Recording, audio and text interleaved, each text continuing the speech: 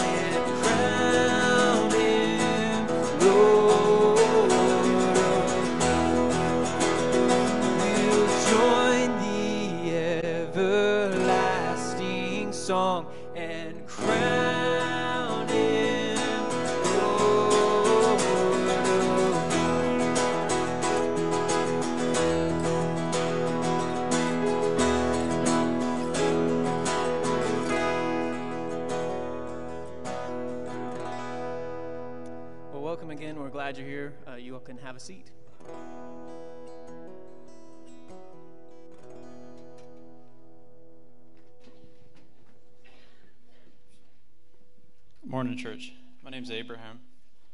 Good morning, Abraham. Good morning. It just feels like a run in from yesterday. Uh, I have a six week old at home, and it wasn't a good week. Actually, seven weeks this Tuesday. Um, I'm here to give you some announcements, and then uh, we'll pray and get into worship. Um, first, this Friday is Good Friday. Um, at 7 o'clock, we'll meet here at the church at, and um, spend some time remembering Jesus and his sacrifice for us.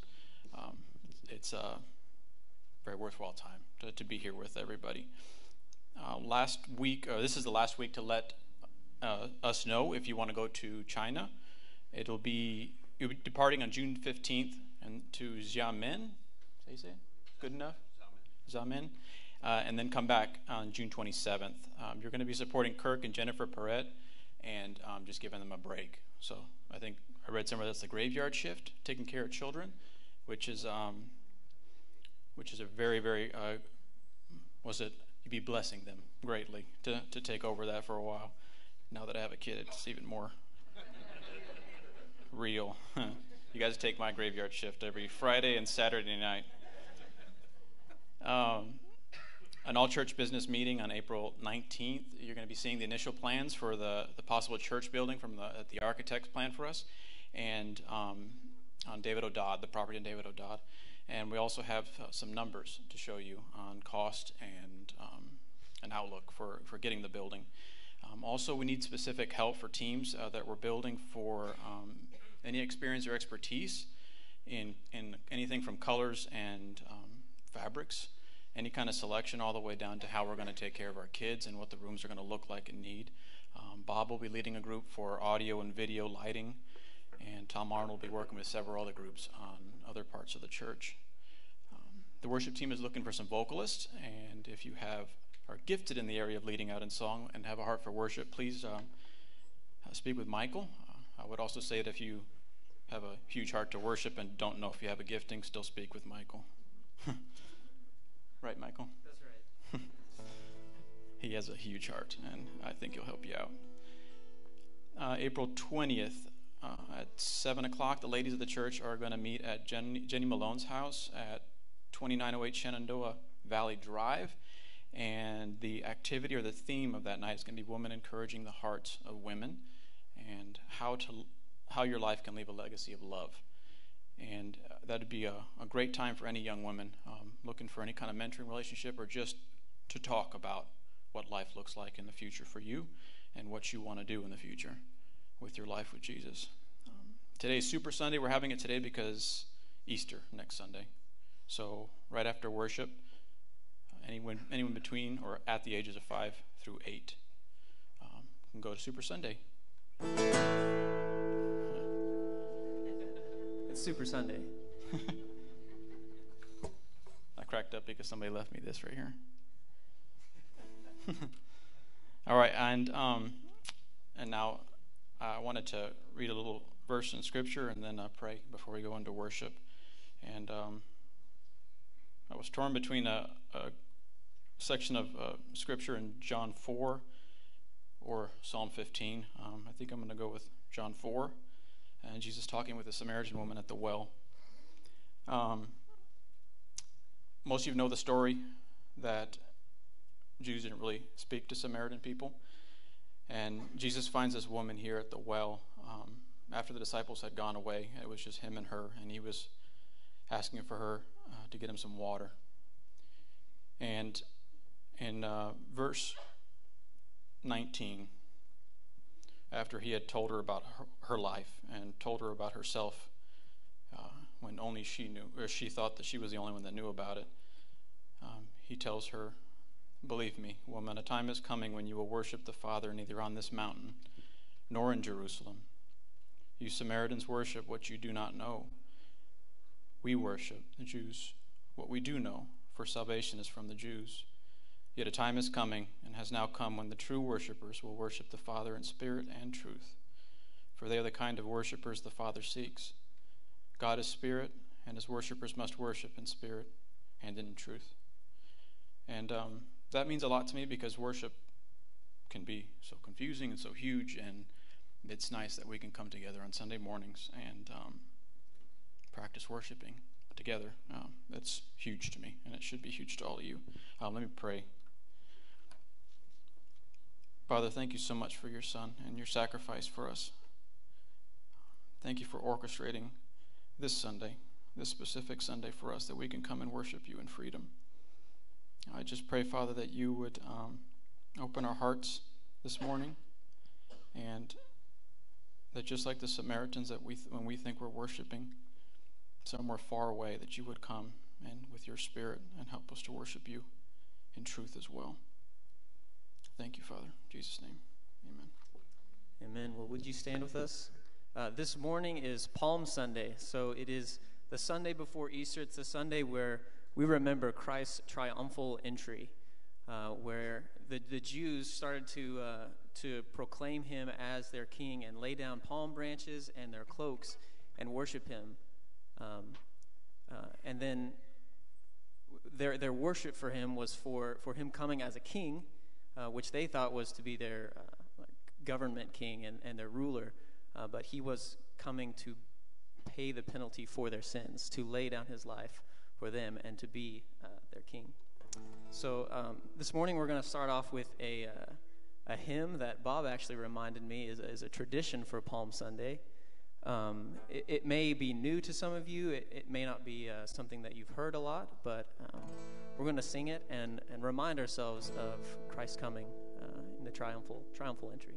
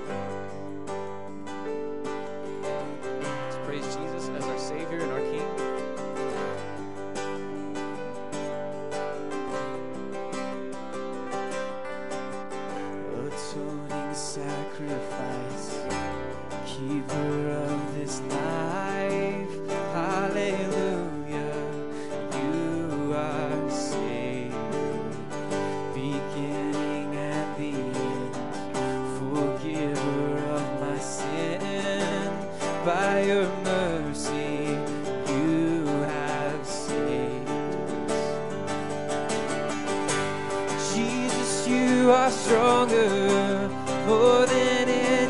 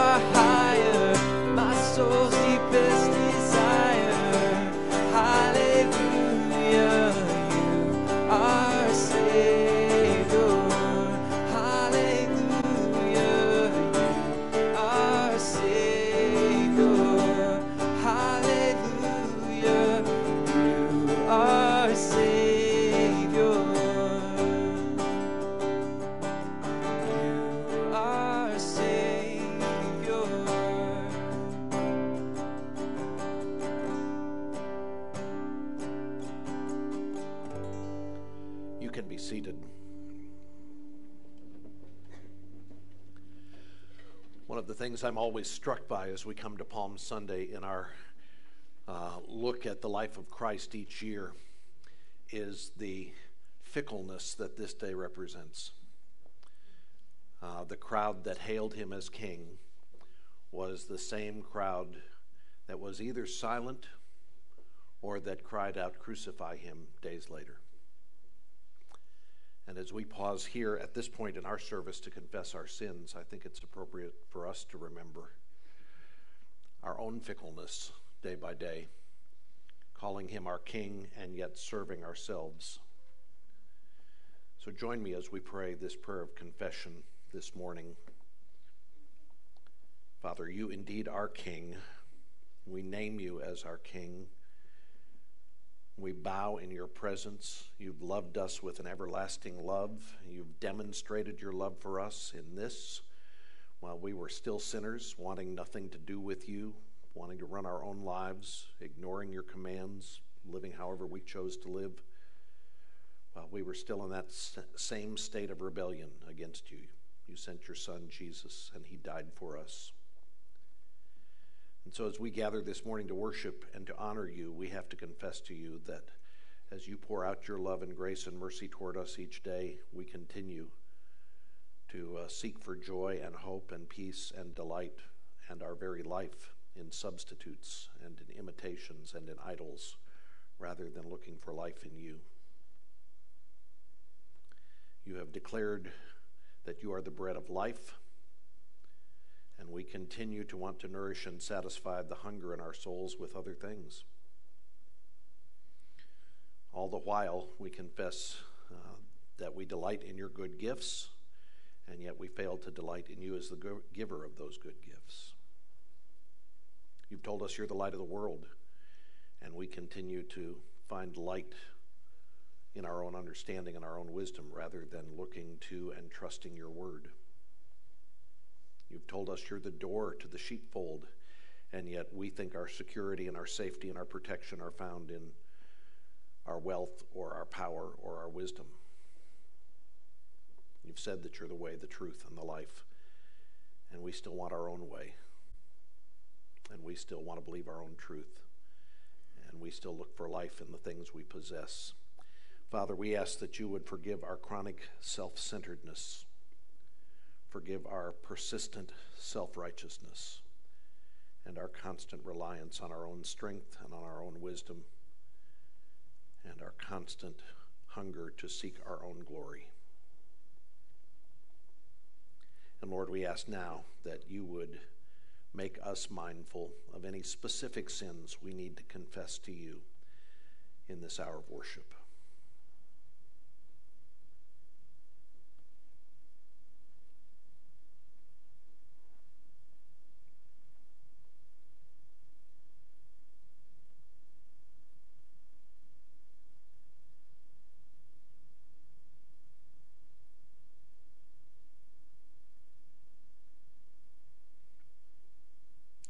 Mercy on us, we pray. Hear our prayer and forgive our sins. We ask it in Jesus' name. Amen. And now stand as you hear again the good news of the gospel. If anyone is in Christ, he is a new creature. Old things have passed away, all things have been made new. Your sins, though they were as scarlet, have been made white as snow in Christ. Hallelujah.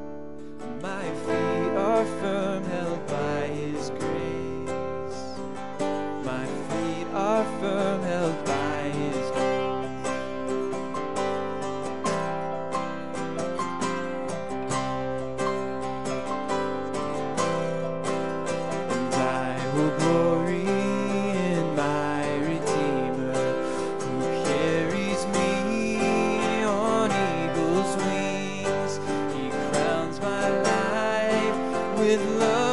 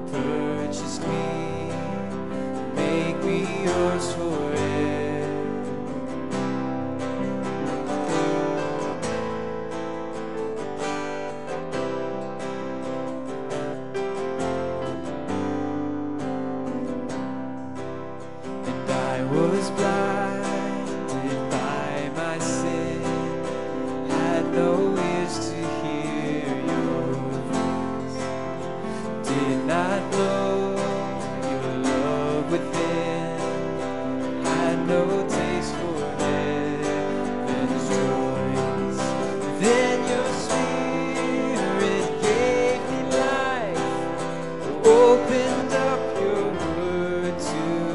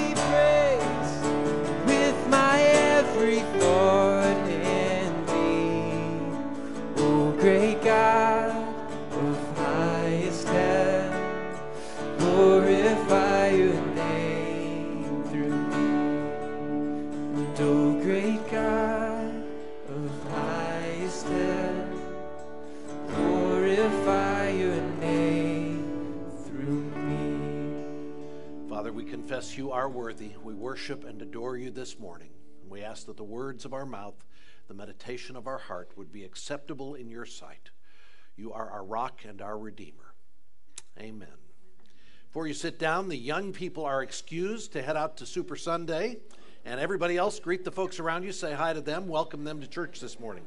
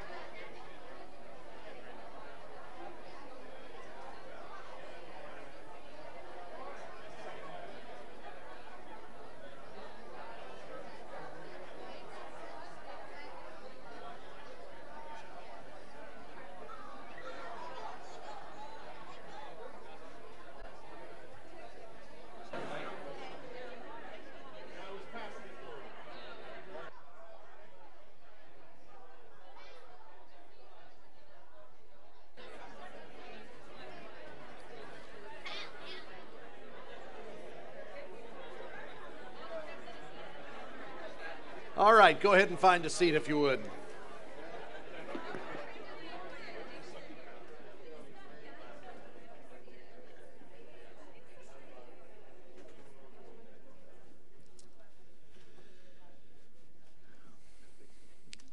I think most of you uh, know and saw in our newsletter this week that on Monday, um, Dennis, Dennis Christ went home to be with the Lord. Dennis was 44 years old. He had battled for years with brain cancer. Uh, you may not know that Dennis was a, an Army veteran, that he served our country from 1992 until 1999.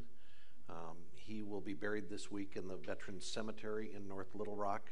I'm going to ask Megan, go ahead and, because some people, you may have seen Dennis or, or not remember, go ahead and turn the lights off.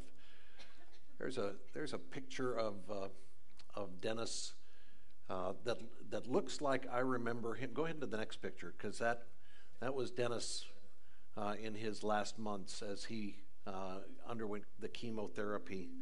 Um, and you can go ahead and turn the lights back up. It was the summer of 2011 that uh, I had finished a message here at Redeemer, and, and uh, Dennis came up after the service, and I think he'd come three or four weeks at that point in time.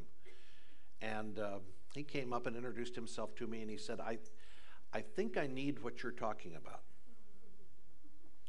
And I said, Well, tell me what you mean. And we, we got over in the corner over there and visited for a little bit. And, and uh, he said, You know, I'm, as you're talking about the gospel, talking about the Lord, he said, that's, that's missing in my life. And I said, Well, here's what I'd like you to do I'd like you to go home and I'd like you to read the Gospel of John this week. And I want you to just read through it and, um, and see what you think. And then let's talk next Sunday. And so uh, the next Sunday, he was up as soon as the sermon was over, and John Dietrich and I sat down. I said, So, did you read the Gospel of John? He said, I read it every day. He said, I read through the whole Gospel every day. And uh, here was the interesting thing was this particular Sunday, we were having a baptism that afternoon. And so I asked Dennis, I said, uh, just, just share with me a little bit about what you're thinking and about uh, where you are. And, and John Dietrich and I sat with him and we heard him kind of share what was on his heart. And uh, part of us were wishing he could articulate what was going on in his life a little better than he could, but it was clear to us that God was doing something. And so we said, You want to get baptized this afternoon? He said, Yeah. So we went out that Sunday afternoon and he was baptized and made a profession of faith. Um, and, and later joined the church. In fact, I want to read to you what he wrote in his, uh, in his documents um, as, he, as he became a member. We asked the question God calls people in different ways. From your personal experience, describe how you came to know Christ as your Lord and Savior. And he said, Melanie Samke and her sister both helped me open my eyes to the Lord. I saw a change in Melanie, and I talked to her about it. She converted, and I was shocked because she was a different person after she was converted. I started watching videos of past services from Redeemer, and I saw the error of my ways, and I wanted to change my life and serve the Lord. I'm a sinner, I'm not worthy, but I'm going to do my best to change that. Amen. So, uh, Dennis worked in the video room for years, helping out whenever he could, uh, was, was uh, here faithfully. And I've asked Melanie uh, just to come up since she was there. For, where are you, Melanie? Just come on up here. Uh, it, it was really conversations at work that were the impetus for Dennis um, beginning to, to respond to the spiritual hunger and to ultimately come to Redeemer. So I just want you to share a little bit of your reflections. You okay? Yeah. Take a deep breath. All right. Sorry. Yeah, it's all right. I'm not good at public speaking, so bear with me. I'm just going to read what I wrote when Bob asked me to. Sorry. I'm going to read what I wrote when Bob asked me to talk about Dennis. I worked with Dennis. Um, at, he started at PC Assistance in 2003, a year after I started. I knew Dennis before the brain tumors and before Christ. The way he communicated was eccentric, but it was uniquely him, and it was uniquely beautiful. He had a distinct tenacity to get his point across and to make others understand him, even if many didn't want to. I know I didn't understand him at first. I didn't want to because talking with Dennis wasn't easy. But Dennis was kind, trustworthy, and passionate. He loved to talk, especially about the things he loved and enjoyed, whether that was computer games or building role play worlds for Dungeons and Dragons. he had an immovable passion for politics and he loved his country. Dennis had an amazing gift of loyalty and dedication. Once he set his mind on something, he put his all in it, whatever that was. I was able to witness the transformation of his devotion to the world and focus his heart on Jesus. He rarely missed church. He rarely missed care group meets and even made an extra effort to change groups each year to get to know different people within the church. He was on fire for the truth and used up a lot of his free time to study more about the Bible and God. Having those types of conversation with Dennis, especially at work, were enlightening and pleasant. I knew Dennis before he came to Christ. He is the only person whom I witnessed to that I didn't get up on. I fought and fought with Dennis to show him the truth, no matter how many times I wanted to throw my hands up and walk away. I just knew that I couldn't. The Holy Spirit fueled me with a determination to keep trying, despite Dennis trying to put out that fire but disagreeing with me. But I went back the next day and tried again and again and again. Then Dennis, I knew at work, was a man that reminded me of myself before I was saved. I saw anger and resentment and a profound sadness festering in him it was a terrifying experience to see that on the outside and wonder if Dennis thought about suicide too. I'm sorry. I couldn't let what almost happened to me become his fate. It tore down every wall of doubt and fear holding me back from telling Dennis about Jesus. I persisted in the fight to show Dennis love and compassion and the truth I wanted Dennis to know God's infinite love for us, that Jesus never, ever gave up on us. Humans fail each other. We hurt each other over and over. Dennis experienced more than his fair share in his lifetime, and I wanted him to know that he was loved beyond anything that he's ever known. Those talks were hard, though. They were maddening and heartbreaking. Dennis was stubborn. I was stubborn. I witnessed the battle of Satan and Jesus and Dennis, some days were great. We would talk and talk and talk, not an ounce of dissension between us. Then some days he completely shut me out. There were definitely times where I thought, this isn't working. I will never get through to him. Several months of this. But we talked about Jesus and the truth. I noticed the stone encasing Dennis's heart cracking bit by bit. Perseverance and prayer conquered, and after numerous invites to Redeemer, Dennis finally came. And the rest of history. thank you. Thanks for sharing that, and uh, and thank you for your persistence, for your love, and um, just stay here as I pray for uh, Dennis's mom. Lord, we thank you for Dennis's life. We thank you for the gospel and for grace and for how you broke through the hardness around his heart and softened him, drew him to yourself. And we thank you that uh, he is with you and that he is experiencing life and love as he's never known it before. Thank you for Melanie and for her faithfulness and for uh, sharing the gospel with him. And uh, we look forward to being reunited with him one day in eternity. We pray in your name. Amen. Thank you, Melanie, for sharing with us this morning. Well, if you have your Bible with you, and I hope you do, I want you to turn to John's Gospel.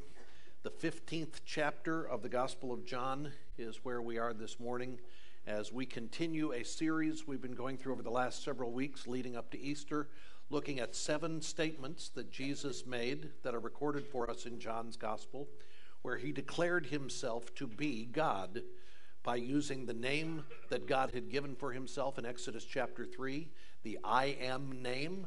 Jesus said, I am the bread of life. I am the light of the world. I am the door of the sheep gate. I am the good shepherd. Uh, there are there are uh, we, we've not yet looked at I am the shepherd. We're going to look at that this Friday night as we come together for Good Friday, because it's there that Jesus said that the good shepherd lays down his life for his sheep. We've also not looked at the statement that Jesus made in John chapter 11 when he said to Martha, I am the resurrection and the life, and we'll look at that next Sunday as we celebrate the resurrection of Jesus.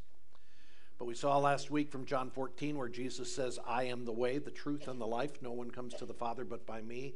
And this morning, we're going to look at what Jesus said in the upper room to his disciples when he said, I am the true vine. Uh, before we look at this passage, though, I'd like to just pray and ask God to give us the gift of illumination as we study his word. So pray with me. Father, your word is indeed light, it is life, it is living. We ask that you would cause us to delight in your word and to find our life and our hope and our joy in you as you reveal yourself to us through your word. And we ask it in your name. Amen. So, the context of the, the statement that we're going to be looking at this morning is what is referred to as the upper room discourse, which is recorded in John 13 through John 17. And I appreciate Joe Neff last week giving us this contextual setting. This is the, the final week of Jesus' life, starting in John chapter 11 when he uh, calls Lazarus forth from the grave. That happens on the Friday before Good Friday. So it happens the week before Jesus is crucified. He's with Mary and Martha in uh, Bethany, which is just outside of Jerusalem. He has come there. Lazarus is dead in the grave. He calls him out of the grave, and Lazarus is raised from the dead. Then we have the triumphal entry that takes place on Sunday. We have the final week of Jesus' life. And John records for us uh, in, in four chapters, four, 13, 14, 15, 16, five chapters. In five chapters, he records to us the final night of Jesus' life, spent with his disciples, first in the upper room and then in the Garden of Gethsemane, where Jesus is teaching them about what life is going to be like after he's gone. Now, they came to this Last Supper, they came to the Passover meal with Jesus, not expecting the news that Jesus was saying, I'm about to die. Even though Jesus had said throughout his ministry that he was going to Jerusalem, that men would kill him, he had said all of this was going to happen. They didn't know when, they didn't know the setting or the context for this. Jesus had tried to prepare them. Now here they are. They've just come into the upper room, John, uh, 13. They enter into the upper room for the Passover meal. Jesus is there. He washes their feet. They sit down at the table. Uh, they're, they're having the Passover meal, and Jesus says, One of you is about to betray me. And they say, Is it me, Lord? He says, Whoever dips his hand with me. And Judas, is revealed as the betrayer, he gets up and leaves immediately. And Jesus, this, this is a, uh, a stunning moment in the meal. This was unexpected. The disciples are confused. Peter makes one of those bold Peter statements that says, I'll never leave you, I'll never deny you. And Jesus says, You're going to deny me three times in the next 12 hours. So it's in the midst of this confusion. This was was supposed to be the Passover meal. This was supposed to be a like Christmas dinner with your best friends. And now one of them's left, and Jesus is talking about dying, and this is not what you expected for a holiday dinner. And it's in that context that Jesus begins to prepare them and say, I'm going away. Where I'm going, you can't go. I'm going to prepare a place for you. I'm going to send the Holy Spirit who will empower and equip you. You still have work to do, but you can't go with me. and it's in that context that he says, I'm the way, the truth, and the life. No one comes to the Father but by me. And at the end of John chapter 14, the last thing that John records is Jesus saying, uh, Rise up, let's go from here. So they've been in the upper room, and now they are headed to the Garden of Gethsemane as they have finished the Passover meal. Jesus is continuing to teach and instruct as they move from one location to another on the night of the, uh, before the crucifixion. Uh, now, I'm going to give you a little bit of a geography uh, orientation here. And the reason I do this is because I had the opportunity uh, a couple of years ago to be able to go and spend time in Israel. And I would just say that ought to be on your bucket list. Uh, if, if, if you've never been to Israel, you really should make it a priority at some point to go and to see. Um, all, all the geography that we read about here because it does change how you how you view all of this. So some of you are going, well, we, we could never afford that. Just start putting ten dollars a week aside, okay, or do something so that you can get to Israel someday. So turn off the lights. I'm going to show you some pictures and get you oriented. This is Jerusalem. There, okay. This is the old city of Jerusalem. You see the walls around the city. Now, let me just point out that these walls mark the city at the time of Jesus. It was after Jesus was crucified in, in about 40 AD that these walls were added under King Herod. Um, but this is what the old walled city looks like. Here's the temple area in the center of the city, and this is where people lived inside the city. This is the upper city. Here's uh, uh, th- this would be, the, and I say all of that because here's a here's a little different perspective of the city. Um, and I want you to see that, that out to the east, this is the Kidron Valley, and this is the Garden of Gethsemane, which is near the Mount of Olives. Okay, so the geography here, if you were to leave the old city and you were to go out through the gate, out through the eastern, one uh, of the uh, gates, either the eastern gate, uh, Solomon's gate, if you were to, here's Solomon's porch, you go out that direction, you're probably a 15 or 20 minute walk to the Garden of Gethsemane. You go down the hill from Jerusalem because it's a city on a hill, it's a walled city on a hill. You go down the hill into the Kidron Valley, across the valley, and you're starting to go up a hill now here. Uh, that would take you to the Garden of Gethsemane or later to the Mount of Olives. So here's another, this is an aerial photography. I, I hope you're okay with this kind of National Geographic thing I'm doing here, but this is, the, this is an aerial shot of the city today. So the old city, the old walled city, looks like this. There are four quarters the Jewish quarter, the Muslim quarter, Christian quarter, and the Armenian quarter. And most of these are small, um, small streets that are only walking streets. You walk through the different quarters, most of them filled with shopkeepers today selling souvenirs or food for all of the tourists. Um, but this is the Dome of the Rock area. This is the old temple area.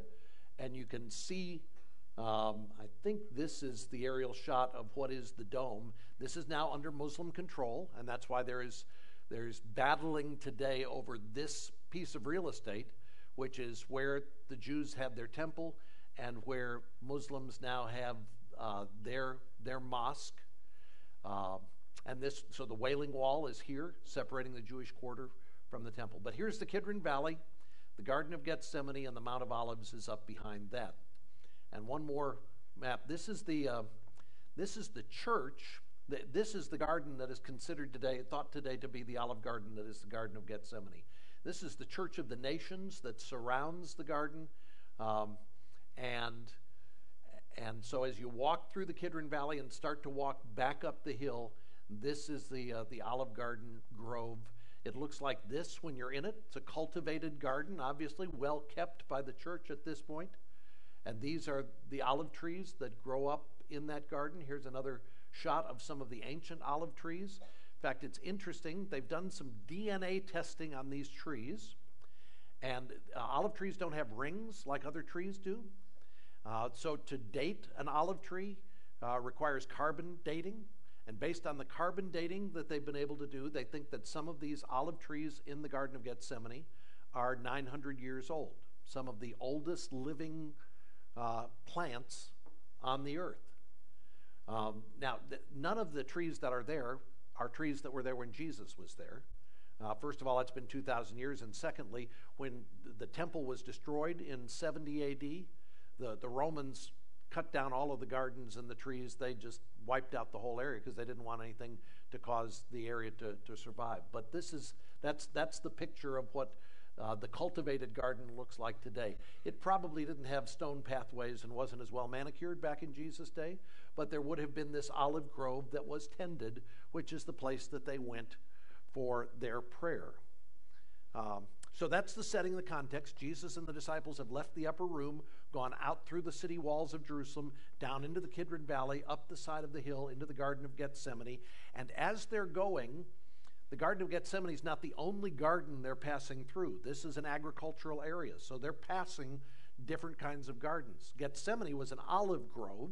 Gethsemane means olive press, and so it was the Garden of the Olive Press.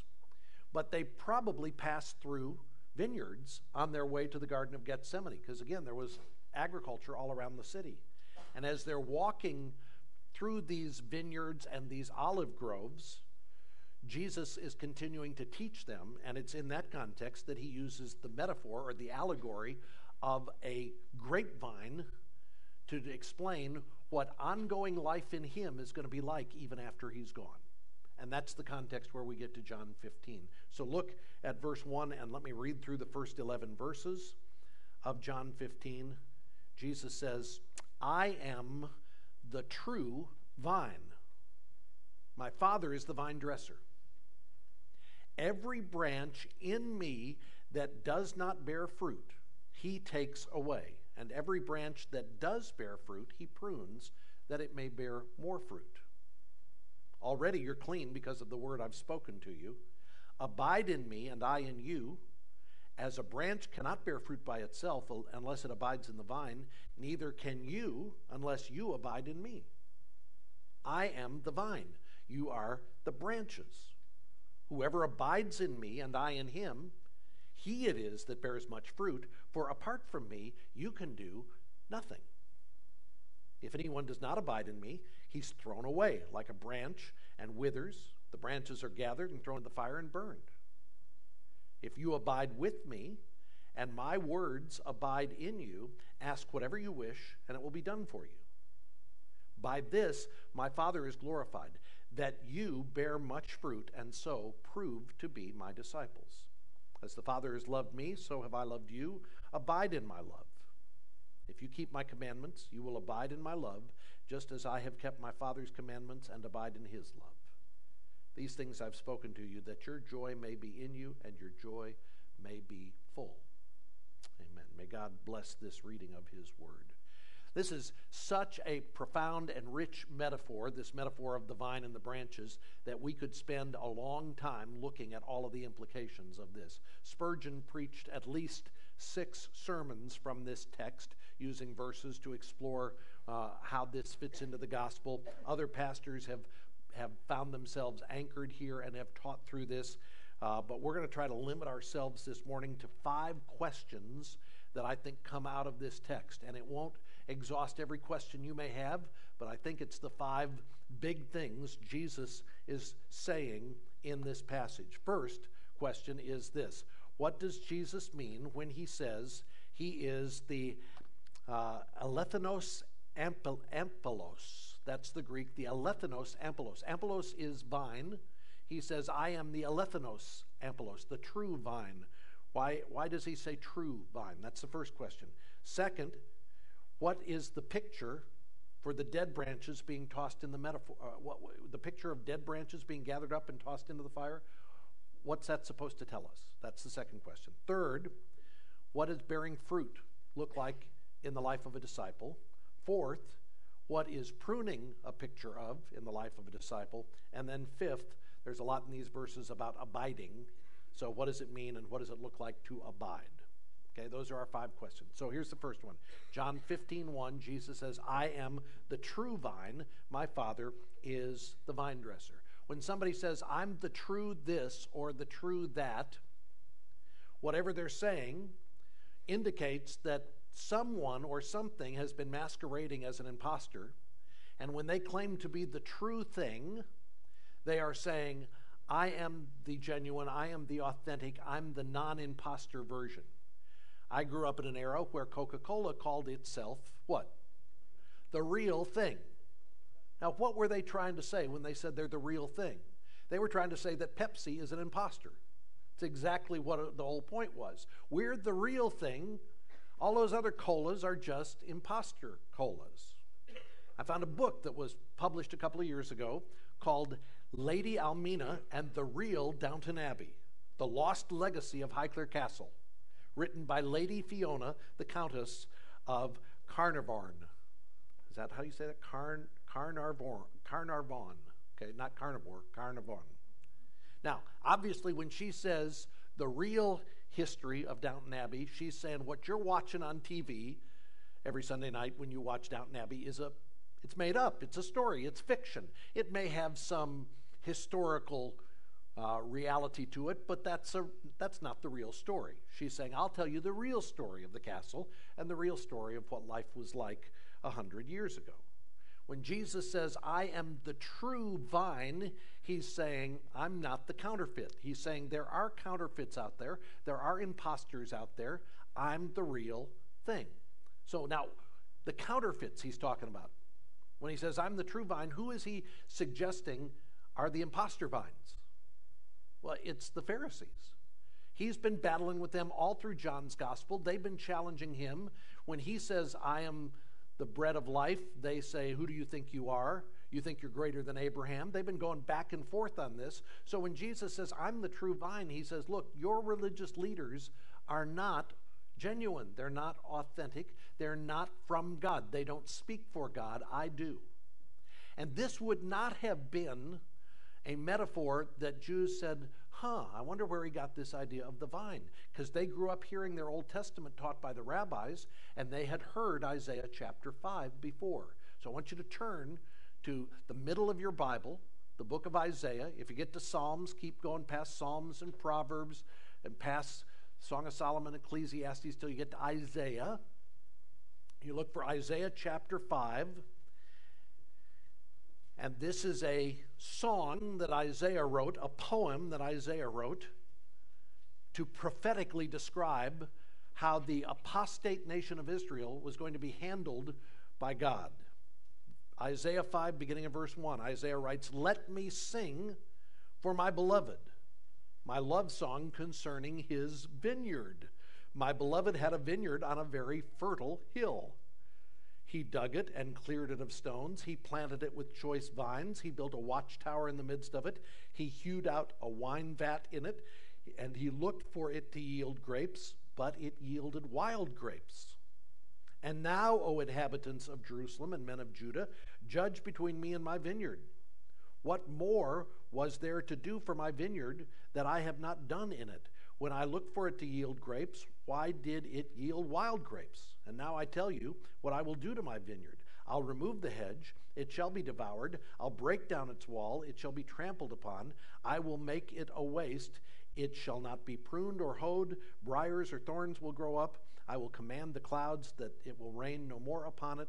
For the vineyard of the Lord of hosts is the house of Israel, and the men of Judah are his pleasant planting. He looked for justice, but behold, bloodshed, for righteousness, but behold, an outcry. And we'll stop there. That's the picture he's saying. Jews have known all along that they are God's special vineyard, that God planted them in Jerusalem, that he built a hedge around them, that he has cared for his people. And Isaiah says, Because you have grown wild grapes, because you have left the Lord, because you're not following the Lord anymore, God's going to bring judgment. He's going to, he's going to get rid of the vineyard. And that happened with the Babylonian invasion that took place about 150 years after Isaiah prophesied this. Let me give you one more vineyard example from the Old Testament, okay? Turn to Psalm 80.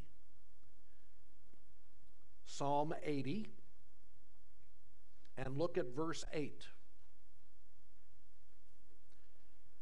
The psalmist writes here, You, God, brought a vine out of Egypt. That's the Jews. You drove out the nations and you planted it. That's exactly Israel's history. You cleared the ground for it, and it took deep root and it filled the land. The mountains were covered with its shade, the mighty cedars with its branches. It sent out its branches to the sea and its shoots to the river. God plants Israel, and the nation flourishes in the Holy Land. Verse 11. Oh, verse 12. Why then have you broken down its walls so that all who pass along the way will pluck its fruit? The boar from the forest ravages it. All that move in the fields feed on it. Turn again, O God of hosts. Look down from heaven and see. Have regard for your vine, the stock that your right hand planted, for the son whom you made strong in yourself. They have burned it with fire, they have cut it down. May they perish at the rebuke of your face. This is, this is uh, David writing and saying, Our enemies are besieging us. God, we are your vine. Protect us again, O vine dresser. So I, I share all of this to say that the Old Testament has all kinds of allusions to Israel being the vine of God and to the leaders of Israel being the ones who represent God on earth. Jesus stands up here in John 15 and he says, I'm the true vine. The leaders are imposters, they are not representing God. My Father is the vine dresser. I am the true vine. What, what the Pharisees are doing, they are, they've turned against Jesus. In fact, John tells us in John 11 that they are now plotting his death. Back in John 9, when the man born blind was healed, and he gave testimony that he said, Jesus must be who he says he is, and they said, You're out of the synagogue. And they're putting anybody out of the synagogue who is following Jesus. So Jesus is saying, Look, the day is coming. You got to decide which vine are you going to attach yourself to. I'm the true vine. Don't go back. Don't yield yourself. I'm about to die. Don't go back to the synagogue and say, Well, we're looking for life here. That's, that's part of the preparation. When I'm gone, don't think you find life back in the old church because it's dead. John MacArthur says in John chapter 5, Jesus is saying Israel is no longer God's vine. There's now a new vine. No longer does blessing come through the covenantal relationship with Israel, fruit and blessing come through connection with Jesus.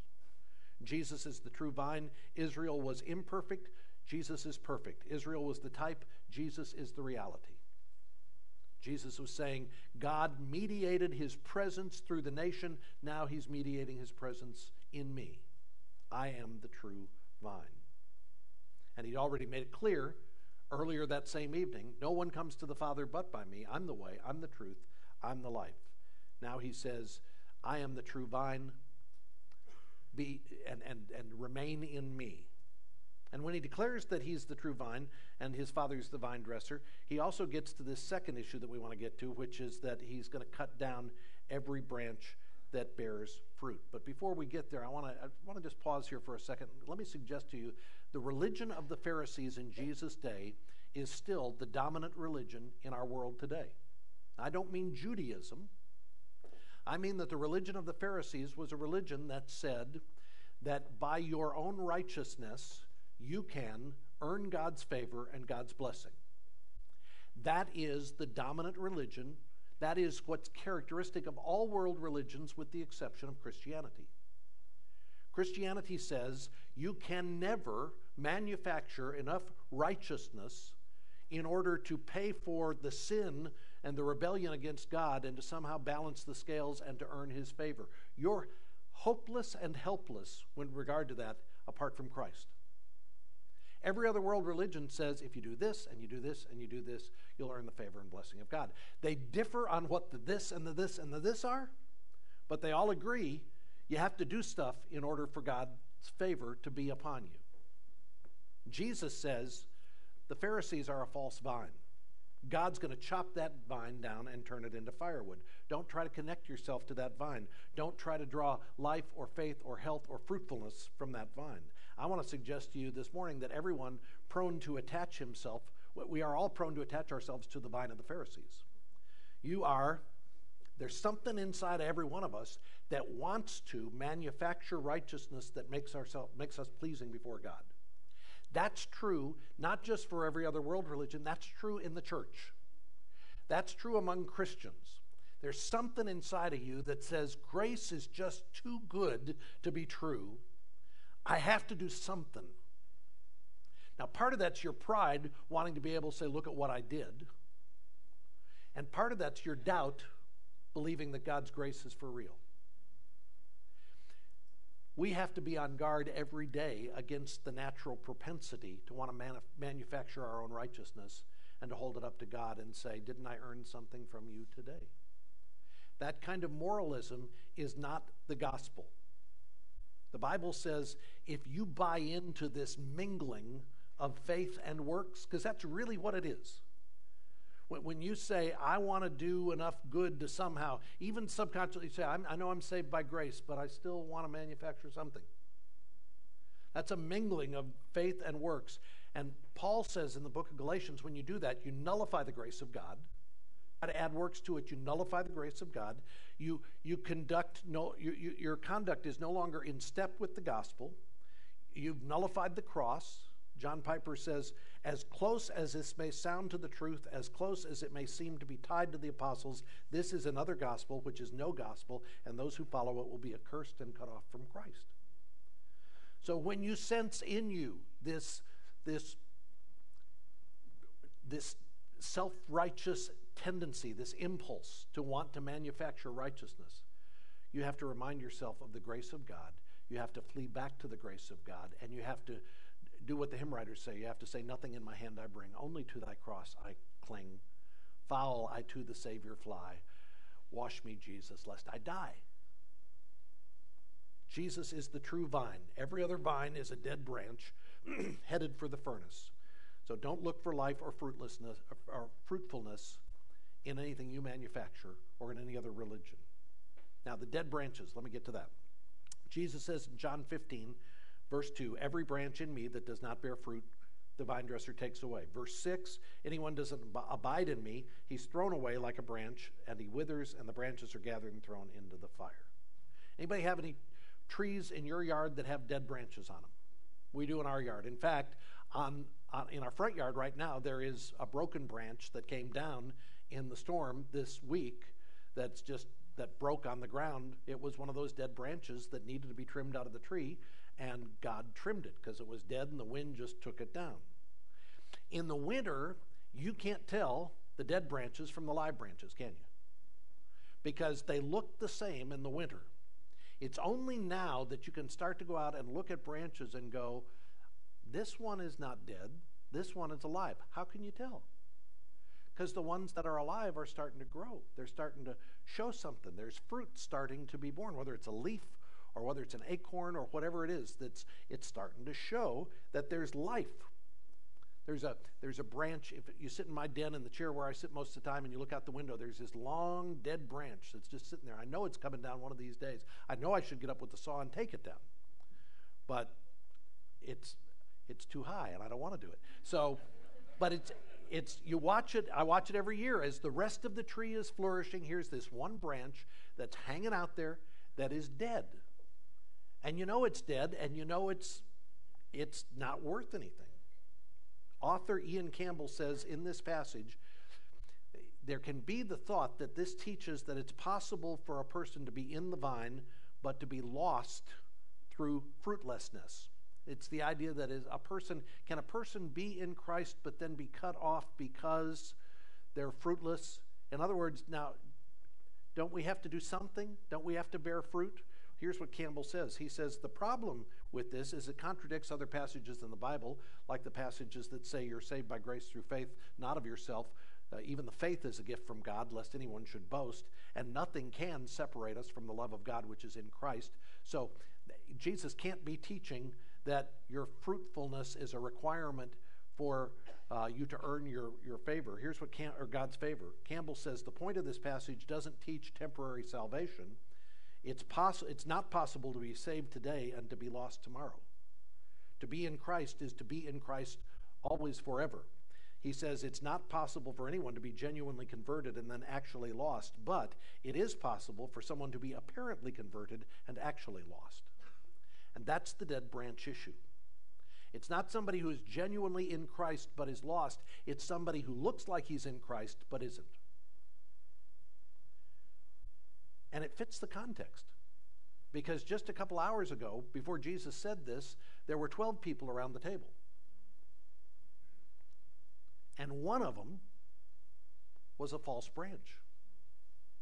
One of them was a dead, fruitless branch who had walked for months with the other disciples. And when Jesus said, One of you will betray me, did everybody in the room turn to G- Judas and go, We knew this was coming with you because you obviously have been the odd man out here? No, they said, Could it be me?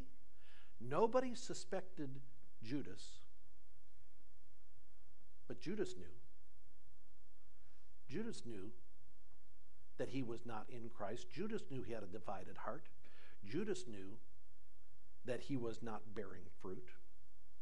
Jesus said, One of you will betray me, and one of you will de- deny me. It's interesting in John chapter 13, you have one will betray who leaves and who later commits suicide. One will deny who leaves and denies, but later comes back and repents. One was in Christ, the other wasn't. One was a dead branch, the other was a live branch. Look, it's possible for live branches to have barren seasons, right? It's possible for a live branch to, uh, to mess up to be in Christ and to mess up. The difference between Judas and Peter is that one was a dead branch to begin with, the other had what stayed attached to Christ, remained in him.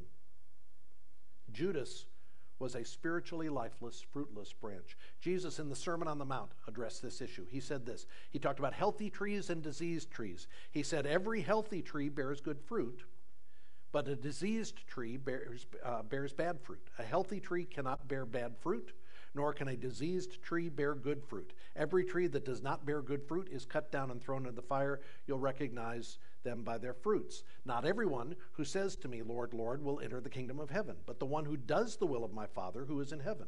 On that day, many will say to me, Lord, Lord, did we not prophesy in your name and cast out demons in your name, do many mighty works in your name? And I'll declare to them, I never knew you. Depart from me, you workers of lawlessness. Could it be that there are folks here this morning who appear to be in Christ, but in fact you are a dead branch or a diseased tree? Now that's a hard that's a hard thing to say. It's a hard thing to ask and and just like the disciples, I'm not looking at anybody because I don't see anybody that I go, I think you're a diseased tree. I think you're a dead branch. Only you can know the reality of whether you're in Christ. I, and I got to be careful here because I don't want to cause a child of God to question whether he or she really is a child of God. I believe the Holy Spirit gives an inner confidence to a child of God, bears witness to the reality of your sonship or your daughtership. And so I believe that we can have a confidence and assurance that we are in Christ. Uh, but if you don't have the blessed assurance, if, if you can't say, I know I am his and he is mine, it may be, it may be because Satan is, is sowing seeds of doubt, wanting you to, to stop and, and doubt your salvation, or it may be because there is not life in you. Could be that God's speaking to your heart this morning and saying, you know what? You know you've been faking this. You know you've been going through the motions. You've been checking off the Jesus box. You've been you, have been trying to pay your life insurance premium by doing the right stuff, show up at church, go to a small group, do the stuff that Christians do, and hope that that's good enough but you know you're not connected to the vine. You don't really know God. You don't really love God. You don't really hunger to read His Word. You don't really want to see His will done in your life. You just want just enough God to get you by, but not so much that it disrupts your life. And if that's you, let me suggest to you, you need to examine and say, Am I a dead branch? If God's speaking to your heart this morning and saying, it's time to come home, time to attach yourself to the true vine, time, time to find your life in me, I want to encourage you, have the courage to talk honestly. If you have doubts about this, talk honestly with a friend, with a family member, with, with somebody you know who brought you here. Come talk to me after the service. Talk to your small group leader. And, and let's wrestle together and get this issue settled of the reality of your spiritual life. One of the ways you, you examine your life to say, Am I attached to the vine? is to look and say, Am I bearing fruit? That's, that's really the third question here. What is this issue of fruitfulness? God created every human being to bear fruit. You want your life, at the end of your life, to have meant something, to have been good for something. You want the eulogy at your funeral to be able to point back to the fact that your life had meaning and had purpose. That's, that's where God said, I created you in Christ for good works to do the works that I created you to do beforehand. So that's, that's what God's calling us to. What does it mean when you talk about a branch bearing fruit? What does spiritual fruit, fruit look like in the life of a branch that is connected to the vine? Here's what it looks like. Anytime your life points people to God's grace, you're bearing fruit. Can I just say, Melanie Somke was an example this morning of a life bearing fruit? Her life was evidence of the grace of God on display. She demonstrated it, she talked about it. She didn't have to manufacture it, it was just real in her, and the realness of that spilled out, and her life bore fruit in Dennis Christ's life. You're familiar with Ephesians 2 8 and 9. By grace you are saved through faith, not of yourself, lest any man should boast. But then after that, it says, You are his workmanship, created in Christ Jesus for good works, which he prepared beforehand that you'd walk in them. A branch that is attached to the vine is going to walk in good works. The good works are not there to earn your salvation, they're there to give you evidence that you're really connected to the vine. The good works are not there so that you can say, Look, God, I grew an apple for you today. They're there so you can say, Oh, look, God's at work in me. I am in the vine. I do belong to Christ. And, and those good works are, it, it may be when you, when you share Christ with others and people come to faith, that's fruitfulness.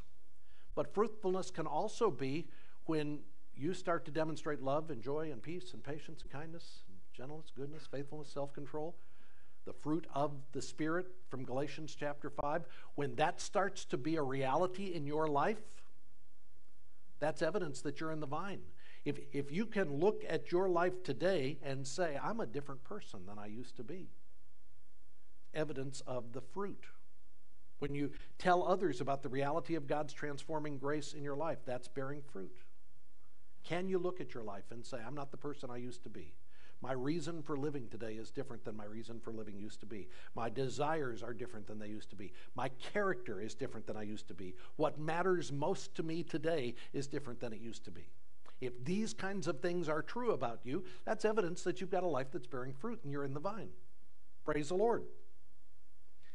So, we are to bear fruit with our lives. And, and the way we bear fruit is not to try to manufacture it ourselves the way we bear fruit is to do what this passage tells us to do over and over again, seven times this word, this idea abide, remain, stay connected, stay plugged in. Uh, this, this verb, meno, is a word that talks about remaining with the vine, carries the idea of a sustaining union with, continuing with, being steadfast with, or enduring. In other words, the key to you bearing fruit is that you stay close to Jesus. Day in, day out, moment by moment, you stay connected to Him, you abide with Him, you walk with Him, you live with Him, and He produces fruit in you. If I were to ask you this morning, where do you live? Most of you would give me an address where you live. And, and if the reason we would know you live there is because if we went to that place over a 24 hour period, that's the place you go to regularly. It's the place you go to more regularly than any place else you go. That's why we call it the place where you live. You sleep there most nights. You eat there most mornings, most evenings, right? It's your home, it's your abode. We call it your abode because it's where you abide, it's where you dwell, where you live. Now, there are people, this happens in politics a lot, people who will buy property in one place where they never live there. They buy the property in that spot because they want some benefit that comes with being a property owner. So they'll be a property owner and taxpayer, then they can run for Senate from that place. And if you say to them, Where do you live? they don't really live in that place. They just got some property over there so that they can have some benefits of, of living there. And there are some people, I think, who say, I abide in Christ, but all they've done is they've tried to buy a plot over here. They just never lived there. They're never there. They're never showing up there. If you go to Christ and hang around and wait for them to come, they don't come. You want to know if you're abiding in Christ? How often are you where He is? Now, I know He's everywhere, right? So you go, I'm covered on that. No. How often are you in His Word? That's where He is. How often are you aware that you are living in His presence? How often are you aware of the fact that every bit of life is lived? The Latin phrase is coram deo, in the face of God, before the face of God. J.C. Ryle says this To abide in Christ means to cling to Him, to stick fast to Him, to live your life close to Him, get nearer and nearer to Him. Roll every burden onto him. Cast your whole weight onto him. Never let go of your hold on him for a moment. The ESV Study Bible notes say that abiding means to continue a daily personal relationship with Jesus characterized by trust and prayer and obedience and joy. And Sinclair Ferguson says abiding in Christ means allowing His Word to fill your mind, direct your will, and transform your affections. Are you abiding in Christ? Here, here's the thing if you're in Him, you need to abide in Him, remain in Him, stay with Him. When you do, you will bear fruit. When you don't, you won't bear fruit. The bearing fruit is not something where you get up tomorrow morning and go, I need to manufacture more fruit in my life today, man. I just, I got to be more patient. You got to get up tomorrow morning and say, I got to be more patient. Here's what I need to do I need to get with Jesus. I need to be with Jesus today. I need to read my Bible today. I need to be in prayer today. I need to be mindful of the fact that I'm with Jesus. And when I am, Jesus makes me patient. That's what abiding in the vine looks like. Last thing we'll look at this morning is this idea of the, the vine dresser cuts off the dead branches, but he also prunes the healthy branches, right? We have this fig tree in our backyard. I hate this fig tree.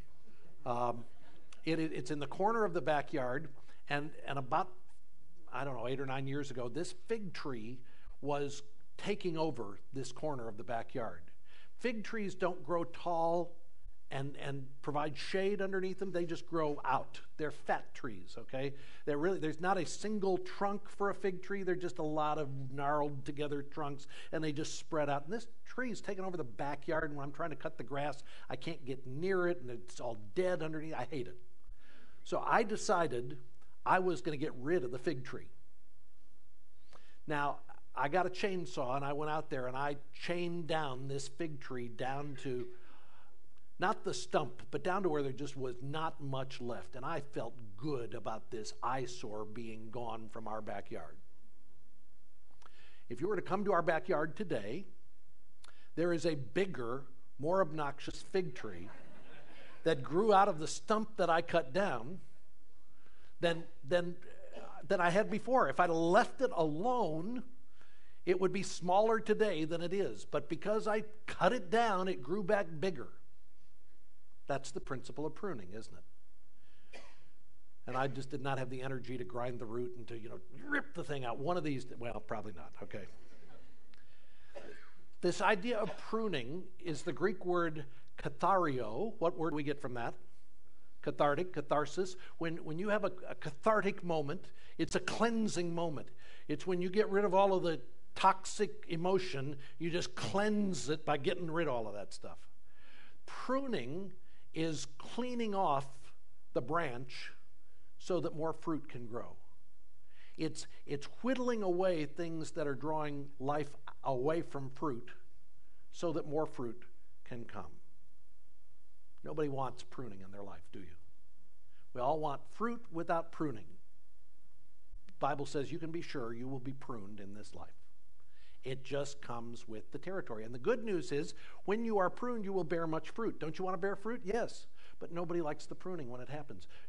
Uh, James chapter 1 Count it all joy, my brothers, when you encounter pruning, various trials, knowing that the testing of your faith produces fruit, endurance.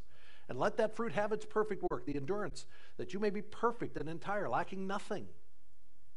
Romans 5 says that we rejoice in our pruning, in our suffering, knowing that our pruning suffering produces endurance, and endurance produces character, and character produces proven hope.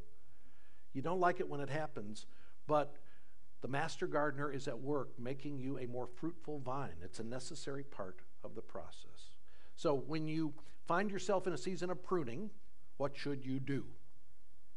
You abide. That's what you do. When, when you are being pruned, you just go back to Jesus and you just hang out and you say, Lord Jesus, make me more fruitful. I don't like this. You know, I don't like this. But I want this to bear fruit. Let me share an illustration with you of that. This past week, we had the opportunity to record a radio interview with a guy some of you may have heard on the radio, a guy named Jeremy Camp, who was in town to do a concert. And Jeremy Camp's story is, is an interesting story. When he was 21 or 22, he met uh, Melissa at a Bible study. He was drawn to her as a godly young woman. Uh, their, their courtship was an interesting one, but ultimately um, they, they married uh, in the fall of 2000 and uh, fall of 2000, 2001. Anyway, they, they married, I think it was the fall of 2000.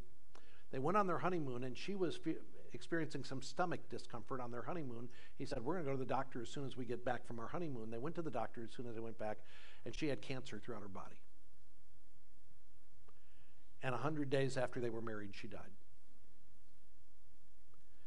Uh, Jeremy said that when Melissa was in the hospital, She said to him, You know, I realize I might die from this cancer.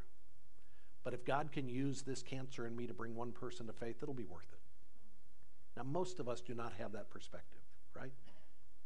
And Jeremy said that there was a nurse in the hospital who cared for Melissa, and Melissa started praying for her, and Jeremy started praying for her, and over the course of time, that nurse came to faith before Melissa died. Would you say, I'm so committed to bearing fruit in my life that if God's plan is to take me home early so that others can come to faith, I'll bear that fruit? I would suggest to you that on the other side, you would say that. I would suggest you in eternity, you'd look back and say, that was so worth it. You might not say it here in the dress rehearsal, but you'll say it on the other side. All of that brings us back to where we started this morning. This kind of fruit of, of persevering in the middle of pruning can only happen when you are attached to the true vine. Jesus is the true vine. He's the only vine. He's the only one who can produce this in you. The only way godliness can grow in you is for you to be attached to the God vine. The only way that grapes come on the fruit is if they're attached to a grapevine.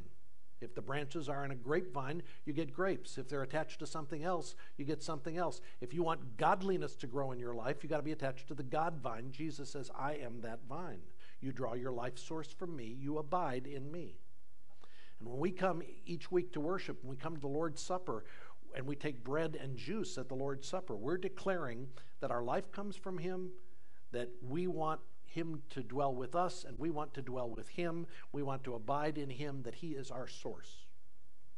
We can have access to this vine because of what Jesus did to give us access. He gave Himself. Jesus came and lived the life we could not live, died the death that we deserved, paid the debt that we owed so that we could be reconciled to God. And then after he had died that death, he showed that he has power over sin and death and hell by coming back from the dead and by leading his church, his body, the true vine, that's still spreading out all over the world today. And as we come to receive the elements this morning, we're acknowledging that because of what Christ did, we can be in him, we can abide in him, we can know him, we can love him, and we can trust him. We practice open communion here this morning, which means that Everybody who is a visitor is welcome at the Lord's table. This table is open to all true branches of the vine. It's open to all who love Christ. If you're here this morning and you don't know and love Christ, you have questions about whether you've been faking it, rather than coming and receiving a piece of bread and a thimble of juice this morning, Stop and just settle this with the Lord. Say, Have I been faking it? I want to abide in you. I want you to be everything. I want you to be the center of the universe. I don't want me to be the center of the universe anymore. If you have questions, again, we'd love to talk to you about that. If you're here this morning and know and you love Christ, imperfectly, we all do, but you know and you love Him, come down the outer aisles, receive the elements. We'll go back through the center aisle, hold on to those elements, and we'll take the Lord's table together here in just a minute.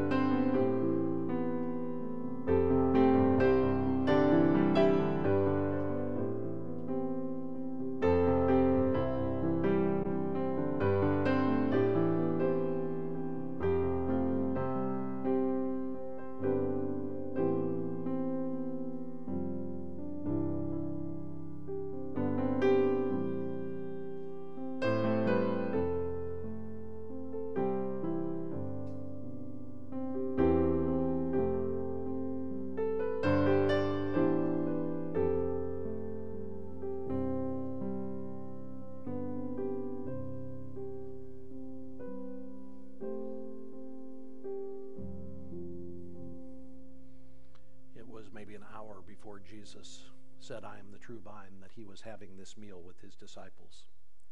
In that upper room, as they took the bread, Jesus blessed it, he broke it, and then he said something that was startling, mystifying to them. He said, This bread is my body broken for you.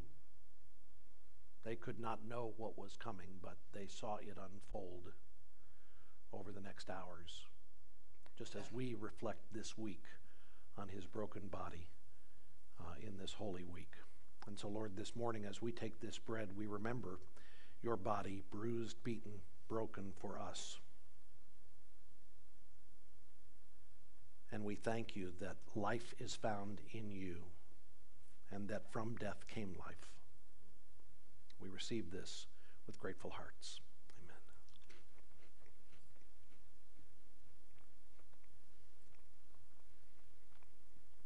In the same way, after the meal was concluded, Jesus took the cup, and after he had blessed it, he passed it. He said, This cup is the cup of the new covenant, the covenant of my blood shed for the remission of your sins. As often as you receive this, remember me. And so we do remember the new covenant this morning. We remember, Lord, that the vine of Israel is an impostor vine, the vine of self righteousness is a false vine. And we declare that you are the true vine, and that in your blood there is remission of sin. We receive this with grateful hearts. Amen. If you'll stand with me, we'll sing together the last verse of I Will Glory in My Redeemer and then I'll dismiss us with a benediction.